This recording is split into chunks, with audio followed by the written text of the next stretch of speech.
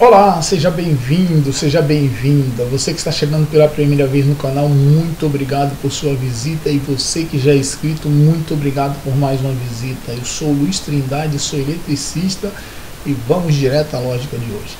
Pessoal, na tela de vocês aí está uma lógica em, usando a linguagem LEDER, né, a linguagem, ou LADER, como você queira, a linguagem do CLP e do lado esquerdo a parte de potência. Essa lógica aí foi sugerida pelo amigo que acompanha o canal, Thiago Lima. Ele me fez a seguinte pergunta: Luiz, eu estou precisando de uma lógica para atender a seguinte necessidade. Eu tenho uma bomba que faz a captação de uma da água de uma caixa inferior e precisa abastecer duas caixas superiores eu preciso dessa lógica. Você tem? Eu falei, não, mas eu vou desenvolver e posto no canal. Acabei de subir um vídeo com, essa, com esses detalhes que eu acabei de explicar, só que usando a linguagem de relés e muito mais completo do que esse no quesito sinalizações, porque lá não tem um limite de saídas, né? Como você está vendo aí, nesse caso aí o logo só tem quatro saídas e você está vendo que daqui a pouco eu vou explicar por quê. Então, fique comigo até o final no final desse vídeo, você volta aqui no canal, clica na aba de vídeo, é o próximo vídeo do lado desse aí. Só que lá é linguagem de relé, bem mais completa, né? E aqui é a linguagem do CLP com limitações nas entradas e saídas. Mas é a mesma coisa, a função que vai fazer lá é igual. A diferença do de lá para esse são só as sinalizações. E uma entrada a mais, que no caso lá tem emergência, aqui não tem pela falta de entrada. Beleza? Vamos direto ao vídeo. Então aqui está a parte de potência alimentação trifásica 220, disjuntor geral do quadro, disjuntor que faz a proteção do circuito de potência do motor, contatos do contator de carga, bloco do relé térmico faz a proteção do motor e aqui o próprio motor ou motor bomba, né? Disjuntor que faz a proteção do circuito que alimenta o relé de fase e aqui o próprio relé de fase. Disjuntor que faz a alimentação do logo, o logo é alimentado por 220, desse com neutro aqui Fiz o comum de todas as saídas e desci com a fase, alimentei um lado de cada entrada do relé e saí com os retornos e alimentei aqui. Bom, vamos à saída. Aqui é a bobina do contator de carga. Essa bobina está vinculada a esse contator aqui.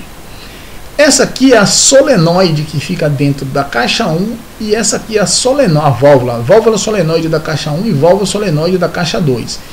E essa aqui é a sinalização vermelha e sonora só da boia inferior. Então a única sinalização de falha ou boia aberta que a gente tem aqui nesse quadro, é nessa lógica da boia inferior, por falta de saída. E você está vendo aqui, ó, nesse, logo, nesse módulo do logo, só tem quatro saídas e oito entradas, mas você pode levar, se eu não me engano, até 16 saídas e 26 entradas, se eu não estou enganado. Mas você tem que ir acrescentando blocos aqui no caso do cá de cima não permite isso no logo, beleza? Agora você me pergunta, o que, que é, às vezes você está começando no comando, fala o que, que é uma válvula solenoide? Bom, a válvula, eu explicar para você e depois eu chego até o motivo de ter essa válvula solenoide. A válvula solenoide é um registro que fecha e abre a água elétrico. Pronto, só isso, simples assim. Um registro que fecha a água da sua torneira e abre a água da sua torneira elétrico. Nesse caso, esses registros, essas válvulas solenoides, tem de dois modelos. Né? Tem a válvula NA, normalmente aberta, quando você energiza ela, ela fecha a água, e tem o registro, tem a solenoide NF, que é o registro normalmente fechado. Ele é fechado, quando você energiza, ele gira a esfera dentro e abre a passagem da água. Nesse caso, são duas válvulas solenoides NF, normalmente fechadas, uma dentro da caixa 1 superior e a outra dentro da caixa 2 superior. Por que isso? Bom, como essa lógica é uma bomba abastecendo as duas caixas, dentro de, cada, dentro de cada caixa eu tenho uma boia elétrica e essas, essas duas boias elas mandam ligar a bomba no automático.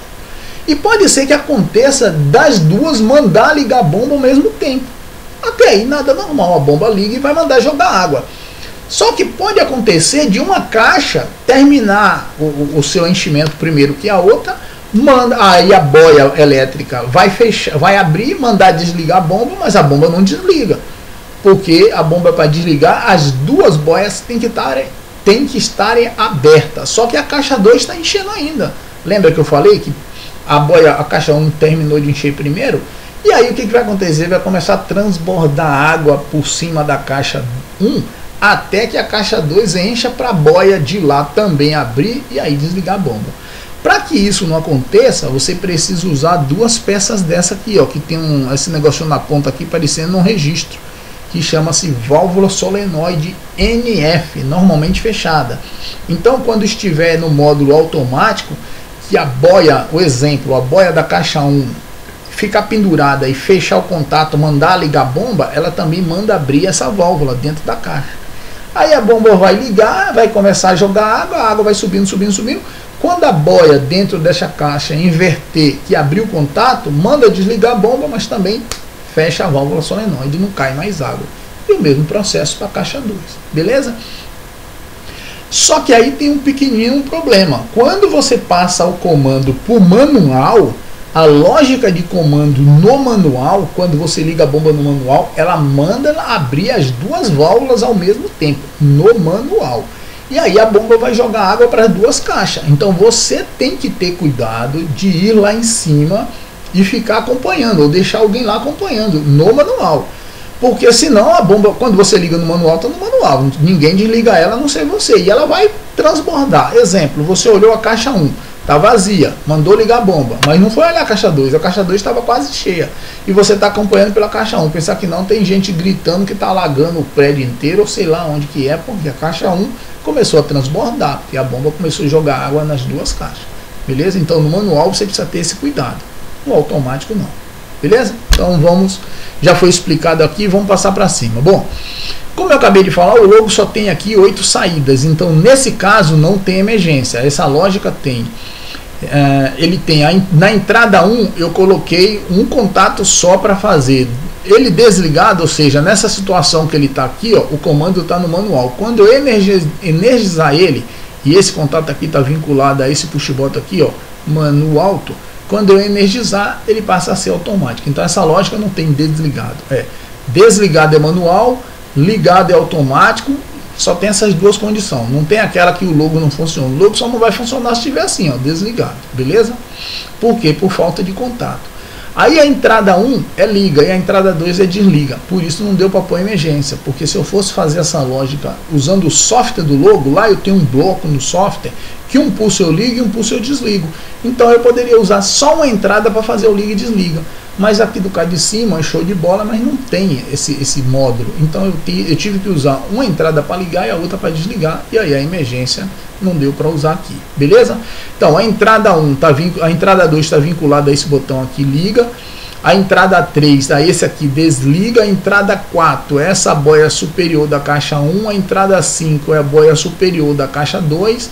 A entrada 6 é a boia inferior a entrada 7 é o relé de fase e a entrada 8 é o relé térmico. Beleza? Então não tem emergência. Outra coisa, quando eu desligar o relé de fase, eu vou desligar o comando, mas a gente não tem sinalização, porque não tem entrada. Aqui, no de relé lá tem. Do mesmo jeito, quando eu abrir o relé térmico, eu vou desligar o comando, mas não tem sinalização. Beleza? Então, dito isso, e essa lógica aqui, ó, é a lógica Leder, está dentro do CLP, isso aqui, ó, é a linguagem de relé. Quando terminar esse vídeo aqui, você vai voltar lá e vai imaginar que é aquele comando que está lá deitado. a diferença de CLP para lógica de relé é isso, é comando deitado. E ele está aqui dentro, beleza?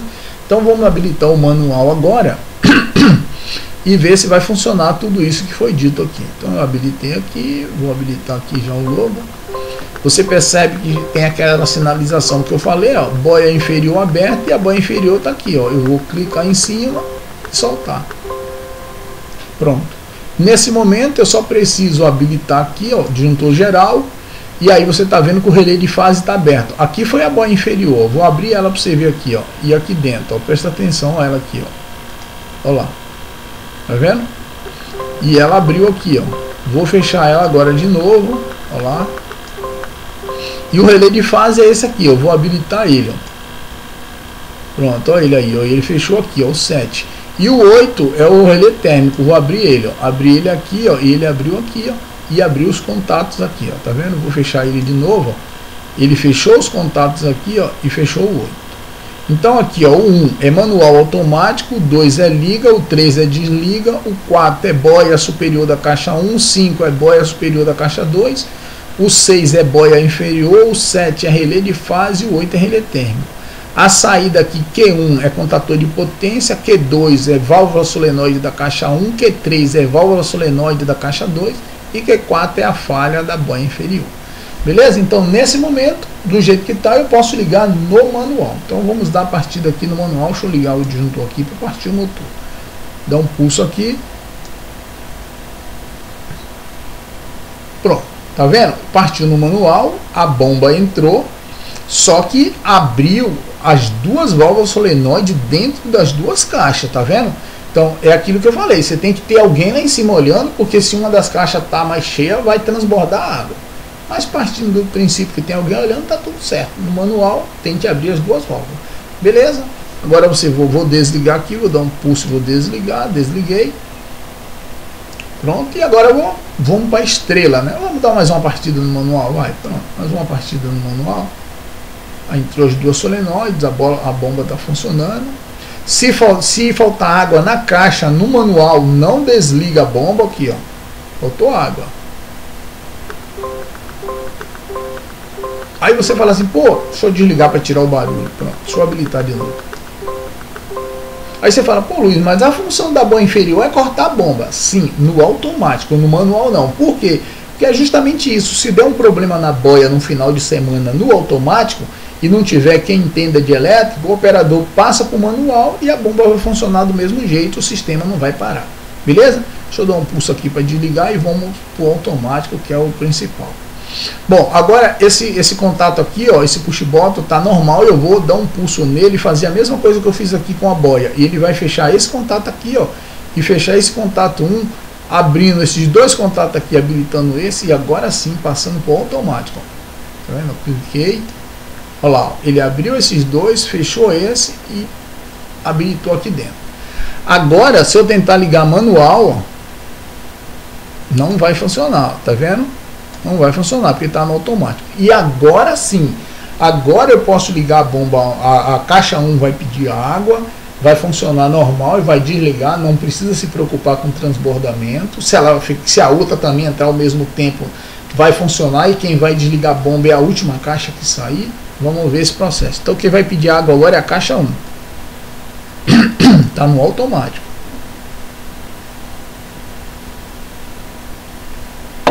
Tá vendo? Aqui, ó, entrou a bobina do contator de potência, ele energizou aqui, ligou a bomba e abriu a solenoide só da caixa 1. Então, nesse momento, só está caindo água na caixa 1. E aqui, ó, na parte de baixo, a saída Q1 e a Q2, está certinho aqui, o Q1 e Q2. E em cima está fechado o I1, que é automático, está aberto o I2, que é liga no manual, está fechado o I3, que é desliga, está fechado o I4, que é boia superior da caixa 1, que está no automático. O I5 está aberto porque é boia superior da caixa 2. O I6 é boia inferior, tem que estar tá fechado. O I7 é relé de fase, também tem que estar tá fechado. E o I8 é relé térmico, também tem que estar tá fechado. Beleza? Então está funcionando no automático. A caixa 1 pediu água. A solenoide aqui ó, da caixa 2 está trancada, então não cai água na caixa 2. E aí a caixa 1 terminou de encher. Saiu, pronto, desligou a bomba. Agora quem vai pedir água é a caixa 2. Pronto, a caixa 2 pediu água. Olha lá, entrou a solenoide, a caixa 1 está trancada aqui, ó, não está caindo água na caixa 1, está caindo água só na caixa 2 e a bomba está ligada, bobina aqui, tudo normal. E aí terminou o processo agora, a caixa 2 saiu também. Pronto, desligou a bomba. E agora quem vai entrar, sei lá, digamos que a caixa 2 pediu água também, só que durante o tempo que a caixa 2 pediu água, a caixa 1 também pediu água. Pronto, tá aí. Agora as duas solenoides estão abertas e está caindo. A pressão da bomba agora dividiu para encher as duas caixas. Só que não precisa você se preocupar. A primeira caixa que encher, fecha a solenoide dela. E, enfim, ou também as duas podem sair ao mesmo tempo, enfim, mas sei lá. Digamos que a 1 encheu e desligou. Pronto, tá vendo? Ela fechou a água dentro da na caixa dela, mas a bomba não saiu porque a 2 ainda está enchendo. E agora a 2 encheu. Pronto, desligou a bomba, beleza? Só que agora vamos partir para de novo. Aí a caixa agora quem pediu água foi a 2, em seguida a 1 um encheu de novo. Pronto, a bomba está ligada, só aí o consumo de água está muito grande e a boia inferior, faltou água lá embaixo, a boia abriu.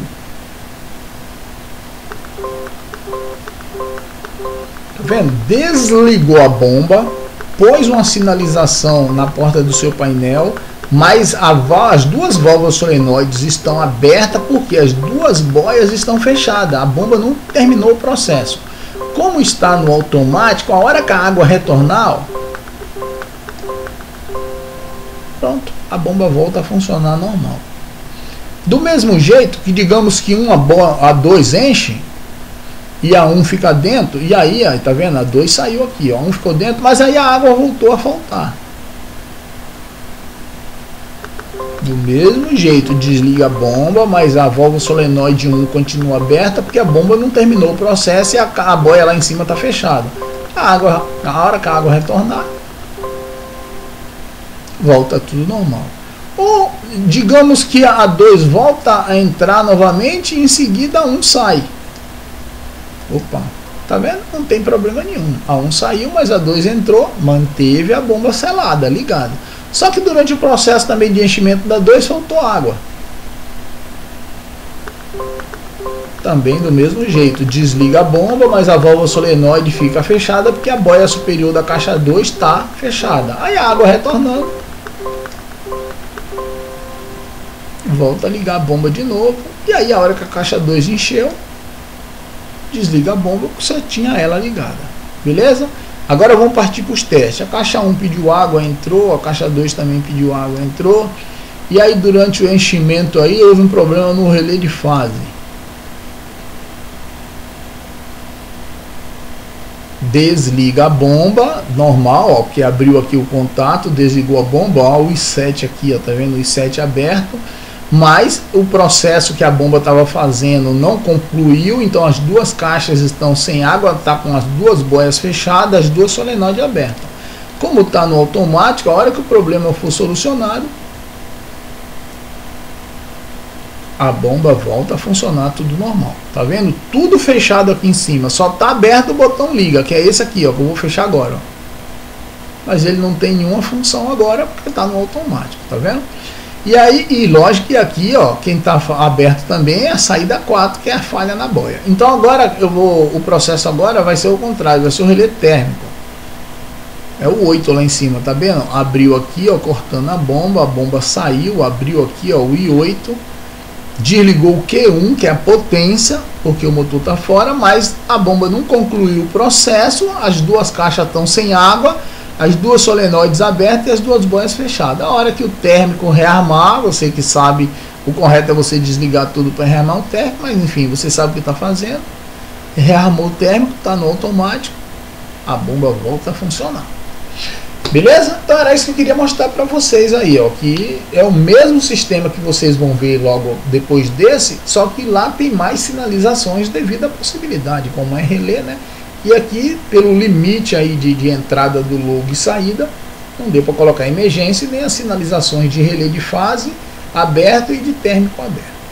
Beleza? E agora o processo terminou, ó, a boia 1, a caixa 2 encheu, saiu, mas a bomba não sai, porque a caixa 2 ainda não encheu, agora a caixa 2 encheu, saiu, desligou a bomba, agora eu vou desabilitar o automático, passar para o manual, Pronto. E agora eu vou ligar no manual só para alertar.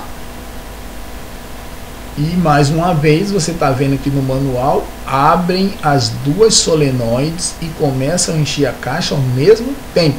Não vai desligar a bomba até que você desliga ou acabe a água da caixa, mesmo assim não desliga a bomba. Beleza?